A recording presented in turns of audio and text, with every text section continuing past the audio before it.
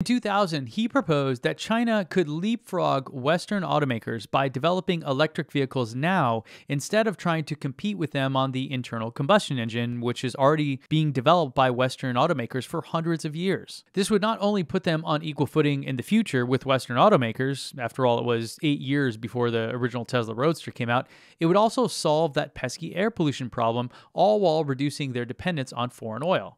And honestly, his proposal worked. China's air pollution levels have dropped by 42% in the past decade since the EVs there have really taken off. You remember what the smog looked like before? Here's a shot of the Great Wall and some of the other scenes around China with the smog and the pollution. And here it is today bright blue skies. Amazing how that works. So, this proposal from Wan led to massive investments by the Chinese government in the form of subsidies, cheap loans to companies looking to build EVs, as well as land grants for companies looking to mine the raw material, really investing in the core components, e.g., the battery, of an EV.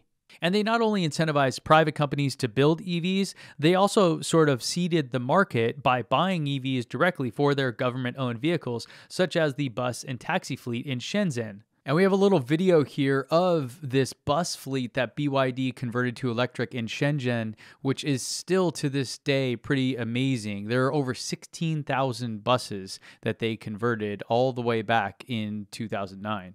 I mean, around the same time is when Tesla unveiled the original Roadster, and it was really, you know, sort of taken the world by storm, but never taken seriously by anybody. It's not the same as having 16,000 city buses converted over to electric as to have some kind of little sports car that is just a toy for the ultra rich or famous.